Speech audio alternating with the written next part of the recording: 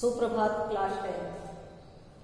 देखिए, आपका जो पोर्सन कटौती के बाद हुआ था पोर्शन में कटौती हुई थी, पाठ्यक्रम में कटौती हुई थी तो कटौती के बाद जितना आपका पोर्सन था, अभी बोर्ड की परीक्षा के बारे में अलग अलग तरह की चर्चा है, लेकिन ये चर्चा निश्चित रूप से है कि आपकी बोर्ड की परीक्षा जो होगी वो ऑफलाइन, यानी पेन पेपर में जैसे आप परीक्षा देते थे, उस तरह की आपकी परीक्षा होगी। उसमें किसी भी तरह का कोई परिवर्तन नहीं होगा डेट के बारे में कई एक तरह का कंफ्यूजन हो सकता है। जैसा डेट आएगा, वो आपको पता चल जाएगा।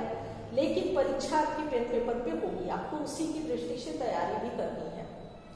तो अभी जैसे आप लोगों को पढ़ना है, व्याकरण में जो कुछ पढ़ना है, वो सब कुछ एक ही पोर्सन है आपका। चाहे वो पीटी वन हो हाफ़ ईयरली हो पीटी टू हो प्री बोर्ड हो, या न हो बोर्ड हो, जो भी हो, उसमें व्याकरण की दृष्टि से आपका जो पाठ्यक्रम पाठ्यक्रम में जो कुछ पढ़ना था, वो आपका पूर्ण हो चुका।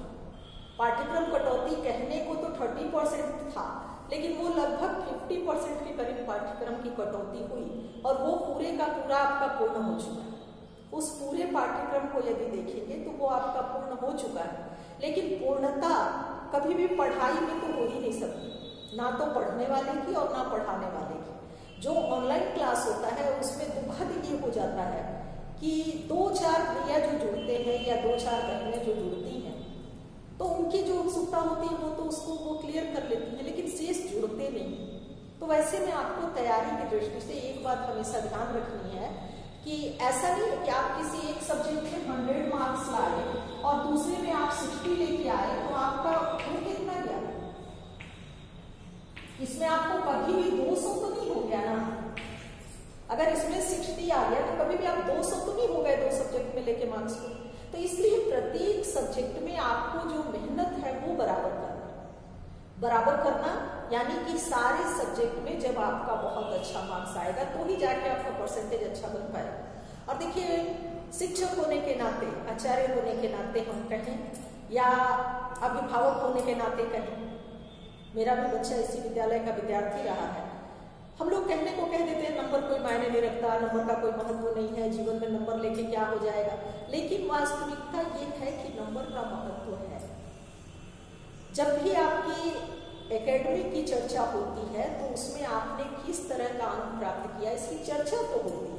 इससे इनकार नहीं किया जा सकता। देखिए, कई एक बार यथार्थ कुछ और होता है, लेकिन क्लास टेंथ में ही है जयशंकर प्रसाद उन्होंने लिखा है कि वास्तविकता को स्वीकार करना बहुत कठिन है।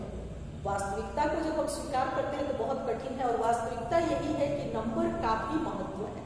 ज्ञान का महत्व है, इससे तो कोई इनकार ही नहीं कर सकता। ज्ञान के लिए पढ़ाई जो पढ़नी है, उससे तो कोई इनकार ही नहीं कर सकता।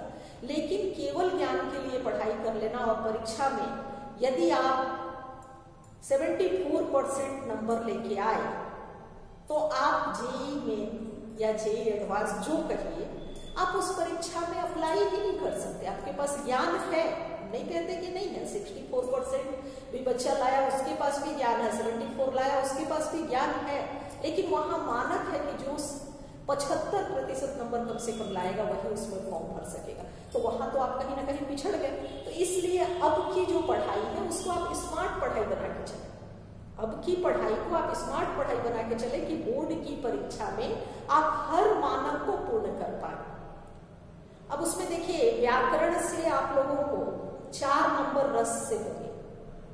कम से कम 20 से 25 क्लास मैंने रस पे आप लोगों को दिया। 20-25 से ऊपर होगा, कम नहीं। फिर भी हर समय, ऐसा नहीं है कि ऑनलाइन क्लास चल रहा है, उसी समय आप पूछ सकते हैं। आप सभी के पास अभी व्हाट्सएप के थ्रू नंबर है सारे आचार्य। आपको जब जिस विषय में कहीं भी कोई असुविधा लगती है, आप पूछें। और जब आप पूछते हैं तो खुशी होती है, लेकिन आप पूछते नहीं है। उस क्रम में एक बार पुनः पुनरावृत्ति के क्रम में बताएँ कि आप लोगों को वाक्य क्यों पढ़ना है। वाक्य भेद रचना की दृष्टि से। देखिए, क्लास नाइन्थ में आपने पढ़ा होगा रचना की दृष्टि से, नहीं, अर्थ की दृष्टि से। उसमें वाक्य के आठ भेद पड़े होंगे। अर्थ की दृष्टि से जब पढ़ा होगा तो उसमें आठ भेद पड़े होंगे। रचना की दृष्टि से तीन भेद होंगे। और वो तीन भेद, सरल वाक्य, संयुक्त वाक्य और मिश्र वाक्य। सरल वाक्य, संयुक्त वाक्य और मिश्र वाक्य। सरल वाक्य क्या है कि जिसमें एक ही सामान्य क्रिया होती है और एक वाक्य होता है।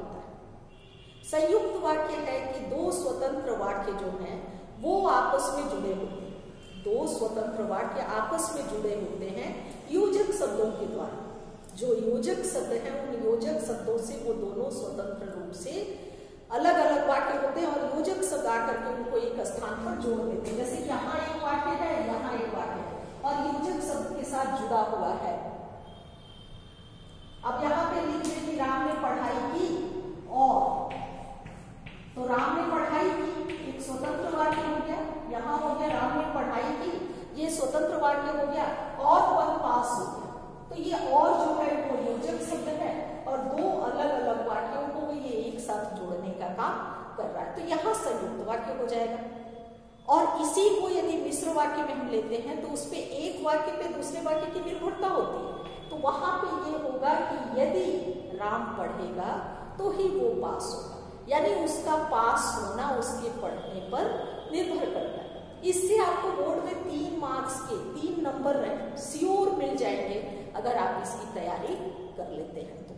तो इस प्रकार से आपको व्याकरण में पोर्शन की दृष्टि से वाक्य भेद, वाच्य, रस, पद परिचय, क्रिया, ये जानना है हर एग्ज़ाम में। ये आपका पोर्शन है, इसमें कोई परिवर्तन नहीं। और बाकी किताब से जो आपका पोर्शन है वो है इस बार सेकेंड टर्म में। तुलसीदास तो तुलसीदास से तुलसीदास के जीवन परिचय को पढ़िए, फिर उसके बाद राम लक्ष्मण परशुराम संवाद के पूरे अर्थ को बढ़िया से पढ़ लीजिए, लिख लीजिए, आप उसी से उसका आंसर दे पाएँगे। और कन्यादान कविता है, यानी दो, पद से दो आपका है, एक तुलसीदास, राम लक्ष्मण परशुराम संवाद, और दूसरा ऋतुराज का कन्यादान। ये दो कविता से आपको पद से पढ़ना है। और गद्य से भी दो पाठ हम पढ़ेंगे और कृतिका से एक पाठ, साना साना हाथ जोड़ी, ये आपका पोर्शन है, यानी पाँच चैप्टर और व्याकरण से वाक्य भेद, वाच्य, रस, पद परिचय क्रिया, व्याकरण से सब कुछ पढ़ना है हर परीक्षा में, हर टेस्ट में, और चैप्टर से दो चैप्टर गद्य दो चैप्टर पद और एक चैप्टर कृतिका से साना साना हाथ जोड़े। और इसमें जिनको भी जो असुविधा है, वो आप ऑनलाइन क्लास चले। तब भी, अभी ऑनलाइन क्लास चलेगा आपका रेगुलर जब भी आपको कुछ पूछना हो, उसमें आप क्लियर कर लें। और यही पाठ्यक्रम ध्यान में रखते हुए पीटी टू की तैयारी करेंगे। धन्यवाद।